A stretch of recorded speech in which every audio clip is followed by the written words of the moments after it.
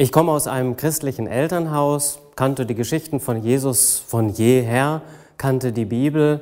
Allerdings bin ich dann irgendwann in den jüngeren Jahren, in meinen Teenagerjahren mit jungen Leuten in Kontakt gekommen, die davon gesprochen haben, man könnte Jesus erleben, man kann eine Beziehung zu Jesus Christus haben.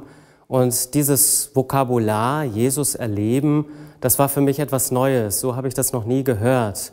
Wenn ich in einem Karussell sitze oder auf einer Party bin, das kann ich erleben. Aber wie soll man Jesus erleben? Ich glaube an ihn oder eben nicht. Das war für mich etwas Neues. Und so habe ich die Leute kennengelernt und auch die Art, wie sie gebetet haben, das hat mich sehr, sehr angerührt. Und ich habe mir meine Gedanken darüber gemacht, ob es mehr gibt als das, was ich bisher so kennengelernt habe.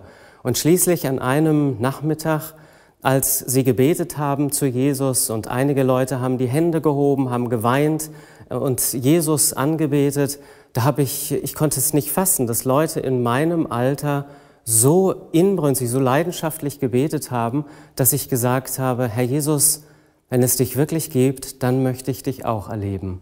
Und das war ein Tag, wo ich Jesus erlebt habe. Ab diesem Tag wusste ich, was das bedeutet, Jesus zu erleben.